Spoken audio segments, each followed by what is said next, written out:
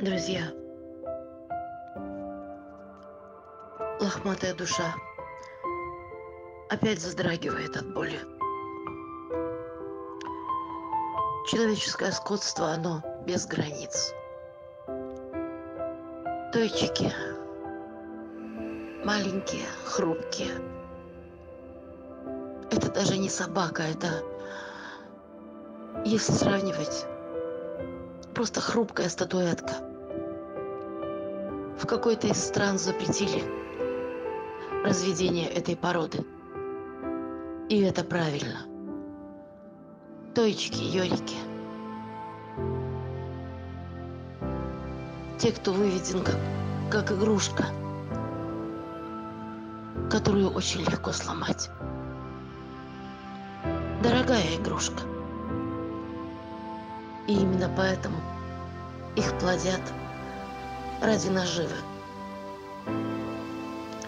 Ради того, чтобы показать, какие они крутые.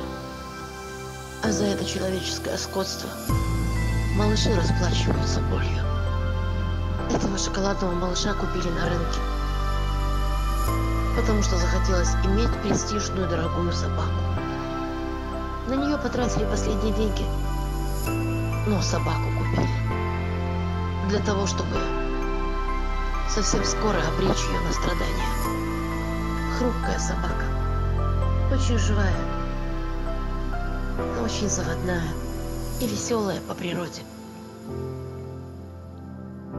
Хозяйка посадила ее себе на шею, и малыш спрыгнул с ее плеч с высоты более полутора метров и сломал себе обе передние лапы. Только деньги были, ребята, потрачены на покупку собаки, а вот на ее лечение денег не было. И все же с горем пополам собаки сделали операцию. И хозяев предупредили, что переломы страшные, и уход за ребенком должен быть очень внимательным и осторожным. Но через две недели собаку снова взяли на руки, и она снова упала. И опять сломала обе лапы. Мне позвонили и попросили о помощи. И, разумеется, я сразу отозвалась и помогла привести собаку Несмотря на долги, я договорилась в клинике Баркова, чтобы ребенка прооперировали. Этот малыш прошел все круги ада. Когда я увидела, в каком состоянии он приехал, да что там, эти фотографии перед вами, ребята. На одной лапе торчит белая кость, лапы сложенные буквой «П», и непонятно, куда дальше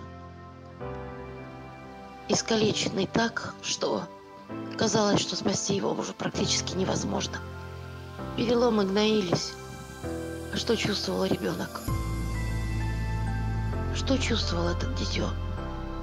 Оно пыталось вставать на поломанные лапы и виляло хвостом. Я с трудом дождалась дня операции. А потом нервничала и сидела, переживала, что как же малышу сделали хорошую операцию. Поломанные кости собрали из кусков. И несколько дней малыш чувствовал себя хорошо. А затем внезапно резкое ухудшение.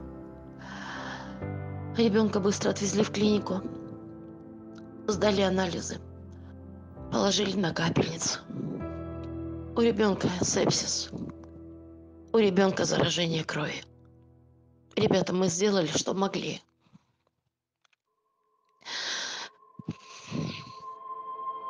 И у меня сейчас только одно желание. Посмотреть в глаза той хозяйки и со всего размаха дать ей в морду.